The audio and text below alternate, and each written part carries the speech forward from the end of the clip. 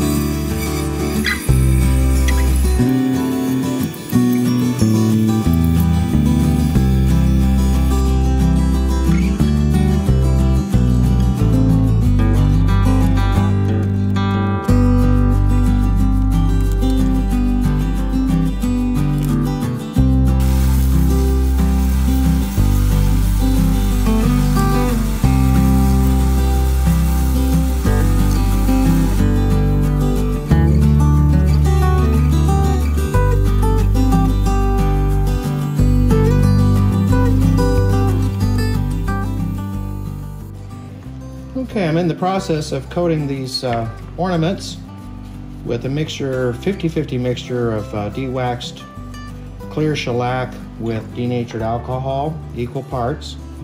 And that uh, helps to raise any fuzzies that are left over. When it's dry, it makes it easier to sand and also uh, helps seal the wood since I'll be painting this. I'll seal the wood initially with this uh, shellac and denatured alcohol mixture. All right, we'll let these dry after I've coated them. Come back and uh, see if they need another coat and another final sanding before I apply some Krylon Clear just to seal that further before the main painting. I gave these two coats of the uh, mixture of denatured alcohol and the Zinsser Bullseye Seal Coat, which is the 100% de-wax shellac. And now I'm going to apply a few light coats of this Krylon Gloss and then follow that up with uh, Krylon Flat just so that uh, when I do the painting that that will give a little more bite to the paint to hold on to.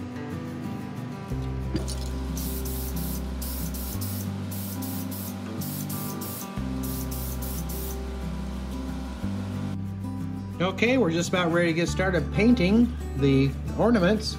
And I've just gone ahead and uh, sanded lightly after the Krylon dried on the uh, wood here. And I picked out a bunch of uh, colors of acrylic craft paints, some metallics and some non-metallics. So these are the colors I think I'm going to use for these various ornaments that could change as I go along. But uh, let's go ahead and get started.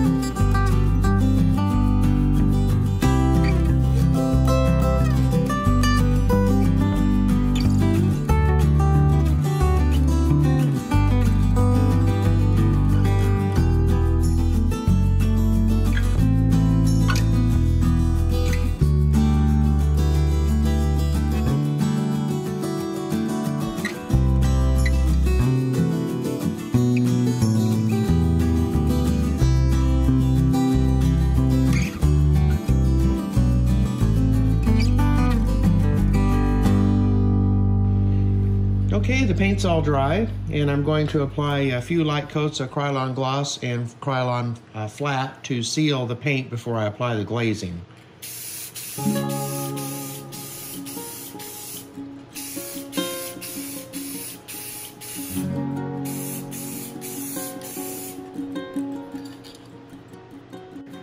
Okay, we're getting ready for the glazing stage. I got these all uh, dried and I'll um, gather a bunch of improperly clean brushes just so that they're kind of stiff to apply, help apply that glazing and uh, get it off there. So it's a wipe on, wipe off, or brush on, brush off. I've got a couple of acrylic paints here. I've got a, a, dark brown, a burnt umber, and also black. I'm not sure if I'm gonna use the black. I'm gonna start with the brown and I'm gonna water it down a bit and use that uh, as my glaze. And then if I decide to uh, use the black, I'll go ahead and try that as well. So let me get some of these uh, out of the way here so I don't splatter on them. And we'll start with this gear. Okay, I'm just uh, using some water to dilute this brown paint. Looks about right. And I'm just gonna brush this all over.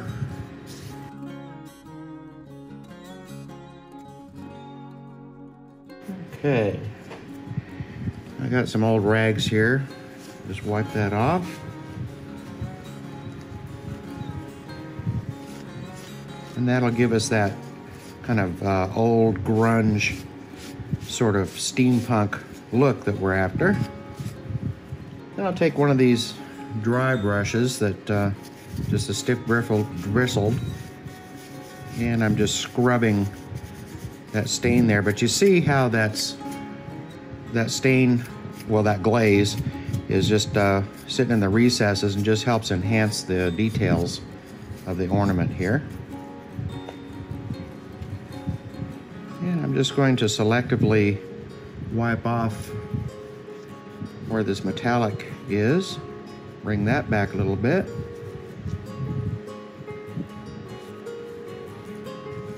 Okay, I think that one's done. We'll let that dry and proceed with the others.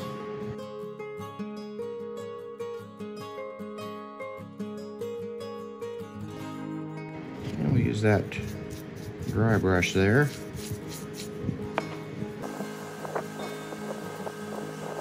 Okay, well, if that isn't a steampunk candy cane, I don't know what is. All right, I'll uh, go ahead and see if I'm gonna use the uh, black on any of these other ones here. I'm going to use the brown on the candy cane and also the gear. We'll see how the rest of them come out. Okay, I think I'll try some black on this one.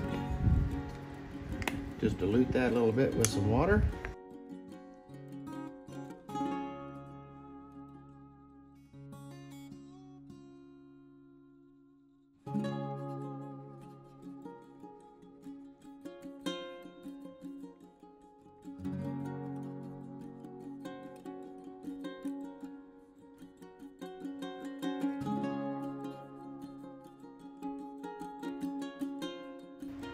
Now that the glaze is dry, I'm gonna apply the final clear coats. I'm using uh, Krylon Gloss Crystal Clear.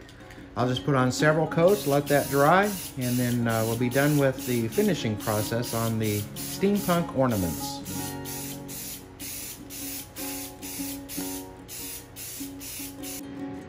The clear coat's all dry on all of the ornaments, and these can be used as is. Uh, you can use just the regular wire Christmas ornament hangers uh, through these holes here. Just, you know, bend them over and twist them through. Uh, or you could use uh, yarn or twine. Or in my case, I'm going to use some of these uh, metal rings and decorative chain. So these rings come in a assorted container. So I picked out the larger ones and I'll feed these through using my uh, needle nose pliers through the holes there and attach some decorative chain. And then I'll use the regular Christmas wire hangers to attach that to a Christmas tree branch.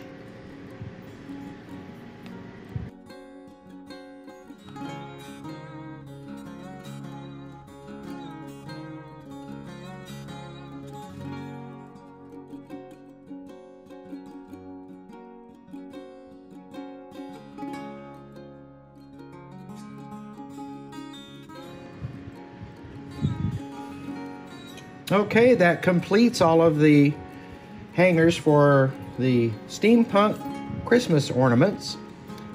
I hope you enjoyed this project, and we'll see you next month with another free Vectric project of the month. Happy carving!